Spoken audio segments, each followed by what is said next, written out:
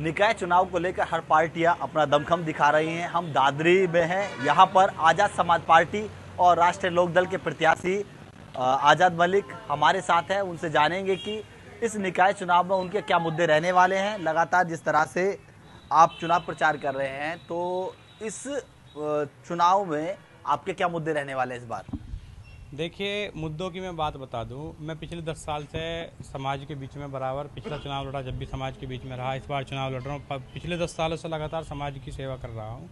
और मुद्दों का मैं आपको बता दूँ, सबसे पहला मुद्दा दादरी का है, जल निकासी का। सीवर का, पार्किंग का, ऑटो स्टैंड का, सब्ज़ी मंडी का, पानी की निकासी का, ये बहुत सारे अहम मुद्दे हैं दादरी के, जिन पर मैं काम करूँगा। आप युवा प्रत्याशी भी हैं तो आप युवाओं के लिए क्या करना चाहेंगे? जैसे कि यहाँ बेरोजगार भी होंगे युवा और भी तमाम तरह की समस्याएँ होंगी तो उनके लिए क्या करना चाहेंगे? देखिए युवाओं के लिए मेरी कोशिश शुरू से ये रही है कि उनको रोज़गार की व्यवस्था। जो हमारी स्थानीय कंपनियाँ वहाँ हमारे जो पढ़े लिखे नौजवान युवा हैं उनको ये रोज़गार नहीं मिल पाता। सबसे पहले जब मैं चेयरमैन बनूँगा तो उन युवाओं को कुछ लगाए भी हैं और लगाऊँगा सभी को। आज से चुनाव लड़ रहे तो उसमें किस तरह का यहाँ गठबंधन नहीं हुआ? क्या रहा? क्या स्थिति रही? देखिए तो समाजवादी पार्टी के स्थानीय नेता हैं उनकी गड़बड़ रही वरना ये सीट तो राष्ट्रीय लोकदल के खाते में थी दादरी वाली। और जब सहमति नहीं बन पाई तो वे भी अलग लड़ रहे हैं ज़िले में हम भी अलग लड़ रहे हैं।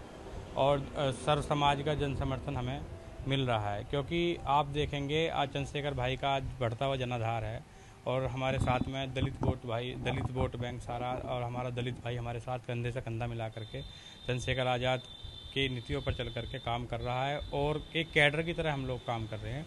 और हमें दलित समाज का, मुस्लिम समाज का और हमारे जाट भाइयों का एक तरफा समर्थन और जो व्यापारी वर्ग नाराज़ है भाजपा से, वो वो सारा वोट हमको मिल रहा है। और इस बार दादरी से राष्ट्रीय लोकदल जीत रही है। ये बताइए, दादरी की मेन समस्या क्या है? जिस पर आप जीतते हैं तो उसको दुरुस्त कराएँगे। देखिए, सबसे पहले जब मैं चुनाव जीतूँगा तो दादरी की जो पाँच, छह प्रमुख समस्याएँ इन पे काम करूँगा। और उसके अलावा जो दादरी के पूरे सर्व समाज की बैठक करके, जो दादरी के सर्व समाज के लोग बताएँगे कि भाई, इस समस्या पे काम करना है, उसी समस्या पे सबसे पहला मेरा टारगेट रहेगा जनता से पूछ करके उनकी हर समस्या पे मैं काम करूँगा। देखिए, आप थे आज़ाद मलिक, गठबंधन के प्रत्याशी, राष्ट्रीय लोकदल और आज़ाद समाज पार्टी के। आपका कहना है कि इन, अगर ये निकाय चुनाव में चेयरमैन पद के लिए जीतते हैं तो जो भी समस्याएँ होंगी, उनको जल्द से जल्द दुरुस्त कराया जाएगा। इटना से रविंदर जैन एबीपी गंगा।